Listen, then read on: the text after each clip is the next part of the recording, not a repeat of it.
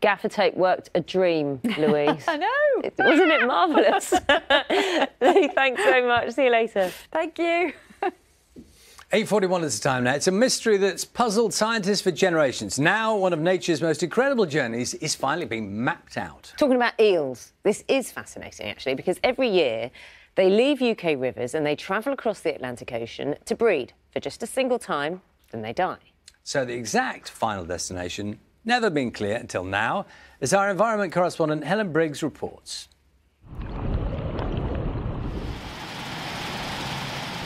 It's a tough life being an eel. Arriving on the coast, having drifted in the sea for months, tiny baby eels have to make their way upstream through fast flowing water and past numerous obstacles. They'll go up a vertical like this. Scientists have been monitoring eels in this Essex River for 20 years, recording steep declines. Compared to the historic number, there's been a 95% decline in young eels coming into fresh water from the ocean. After maturing into adults, growing up to a metre long, European eels swim all the way back across the ocean to reproduce and die. Yeah, they've travelled thousands of kilometres to get here. It's taken up to two years. They'll spend, yeah, several years in the fresh water, and then the adults have this huge journey, thousands of kilometres back. It's long been thought they end up in the Sargasso Sea, but until now the facts have been hard to prove. There's still many more mysteries surrounding these eels. Yeah, for hundreds of years, people have been trying to understand eels. That they are very mysterious. They're incredible creatures.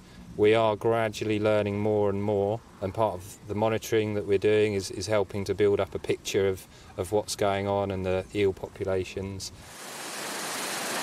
The researchers picked up the trail in the Azores Islands in the middle of the Atlantic Ocean, attaching satellite tags to eels on the final leg of their journey. That's the big one. And they say they now have the first direct evidence of adult European eels reaching this spawning ground. We knew they could get as far as the Azores, but that final leg was just undiscovered.